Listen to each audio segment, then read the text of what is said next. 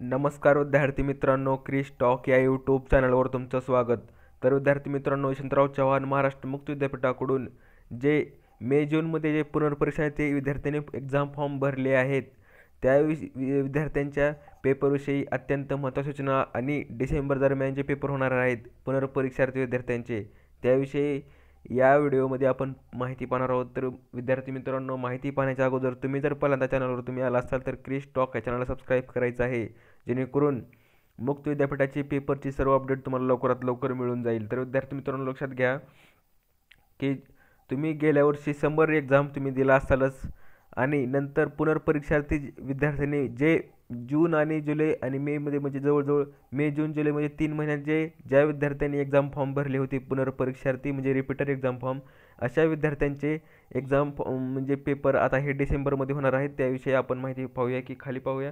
जसे की विद्यापीठाने सांगितलेले आहे की मे जून दोन हजार वीसच्या परीक्षेसाठी ज्या पुनर्परीक्षार्थी बॅकलॉग विद्यार्थ्यांनी परीक्षा अर्ज भरले आहेत अशा पुनर्परीक्षार्थी विद्यार्थ्यांसाठी परीक्षेचे आयोजन डिसेंबर विद्यापीठातर्फे डिसेंबर दोन हजार वीसमध्ये केले जाणार आहे.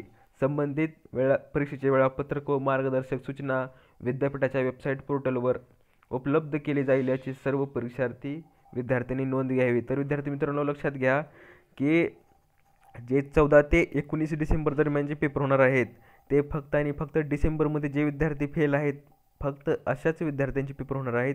आणि जे मे जून म्हणजे म्हणजे तुम्ही जे एक्झाम फॉर्म भरले आहेत अशा विद्यार्थ्यांचे पेपरसुद्धा एकवीस ते एकतीस डिसेंबर दरम्यान तुमचे पेपर होणार आहेत.